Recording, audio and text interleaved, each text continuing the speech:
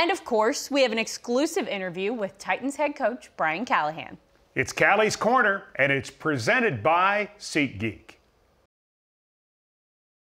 Could you please fully explain what happened on Miami's, and I wrote down how to call this Miami's onside free kick attempt with their punter? What were the Dolphins hoping was going to happen there? My best guess is that they were they tried. We used to call it a, a moonshot punt. Um, sometimes we would, over years, different places I've been, if you had a punter that could hit that ball, what they try to do is hit it as high in the air as they can. Uh, and make you have to try to manage and catch it uh, because you know you can fair catch it and all that, but it's more about fielding the ball. Um, that would be my best guess uh, without knowing exactly what they were trying to do, but they tried to hit a very similar style, you know, pop-up punt where you have to field it. Um, I would say in, in full transparency that from where I was standing, I couldn't tell where the setup zone was. To Quan's credit, um, and really I think he did a really nice job of understanding the rule, knowing the where the setup zone was, where the ball had to land. You made clear in your press conference that when healthy, Will Levis is your quarterback. You had intimated that he wouldn't probably do a lot today.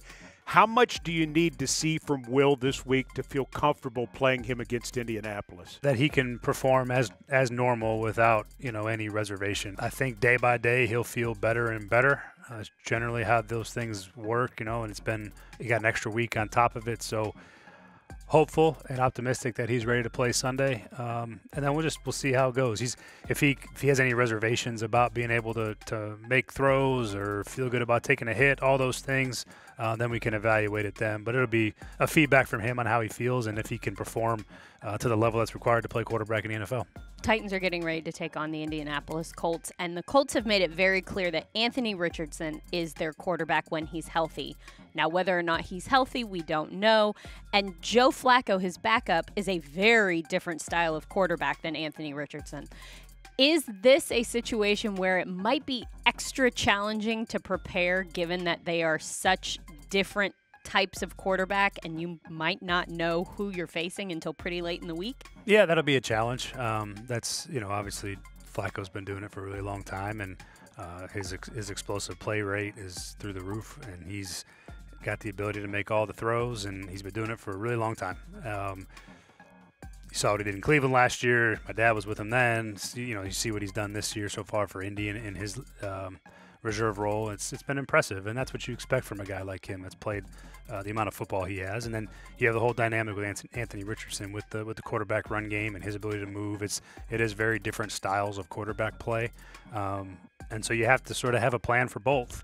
Uh, and then you still have to have a plan for their, for their offense in general, the receiving crew for sure. Regardless of who the Colts end up playing at the quarterback position, they have a lot of receivers who are just phenomenal. Josh Downs, Michael Pittman, Alec Pierce, AD Mitchell, all of those guys are going to put a lot of pressure on any opposing secondary, right? I would say so. Yeah, it's it's a good group and uh, a homegrown group on top of it. Guys that they've drafted, they've developed.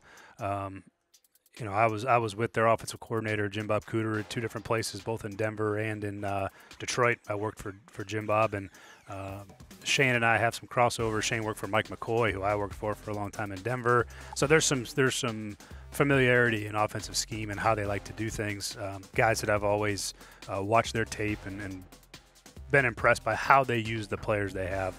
Um, and they've done a really nice job of acquiring talent at the skill positions. Uh, I think their tight ends are good players too. I think they've had some injuries, but um, it's it's a good group from top to bottom in the skill positions. They got four real receivers um, that can come in and make plays, and they find ways to get them the ball. And it's you know evidenced by the explosive play rate that they have and their ability to score touchdowns from far out um, is is impressive. And they, again, you, have, then you add the element of, of, Anthony Richardson and his ability to run. It's a whole, it's a, it's a lot to, to prepare for and get ready for. For more of our conversation with Brian Callahan, we invite you to enjoy the OTP. You can watch the OTP on the Titans YouTube channel or at TennesseeTitans.com. Don't forget to subscribe to the OTP wherever you get your podcasts. There is only one official Titans podcast, better known as the OTP. Stay tuned. More Titans All Access right after this.